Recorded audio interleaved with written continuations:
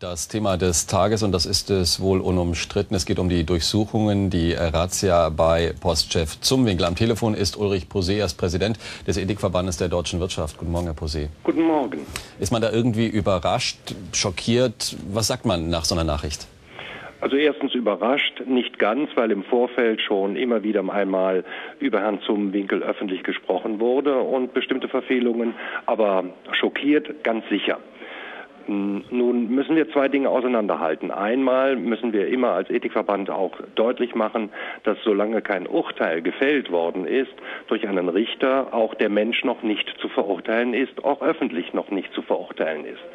Zweitens sollten die Verfehlungen, die vorgeworfen werden, im Rahmen der Steuerhinterziehung, sollten die zutreffen, was die Staatsanwaltschaft ja derzeit behauptet, dann handelt es sich um ein ethisch-moralisches, verwerfliches Handeln. Da führt kein Weg dran vorbei.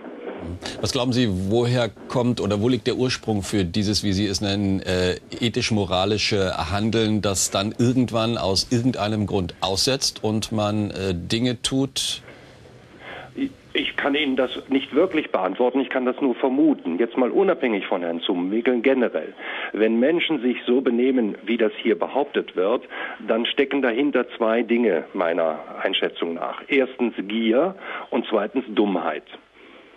Ich glaube nicht, dass ähm, ein Mensch so schlau sein sollte, dass er Menschen, die sich beruflich mit äh, schwierigen kriminellen Fällen beschäftigen, übertölpeln kann. Also da setze ich mehr auf die Justiz und auf die Klugheit der Menschen, die solche Dinge ermitteln. Und ich bin mir ziemlich sicher, dass die einem Einzelnen in solchen Dingen haushoch überlegen sind. Eine Konsequenz hat das Ganze, Herr Posé, dass äh, der gemeine Bürger, die gemeine Bürgerin ähm, das Vertrauen in die Redlichkeit von solchen Menschen ja wohl verliert. Das ist das Kernproblem, dass ähm, Top-Managerinnen und Manager sich durchaus im Spiegel der Gesellschaft bewegen, wenn sie sich daneben benehmen. Denn wir sind alle Produkte dieser Gesellschaft und da gibt es einen bestimmten Prozentsatz, der sich daneben benimmt. Das ist sicher richtig. Aber auf der anderen Seite haben gerade unsere Top-Managerinnen und Manager, unsere Unternehmensführer, eine Vorbildfunktion.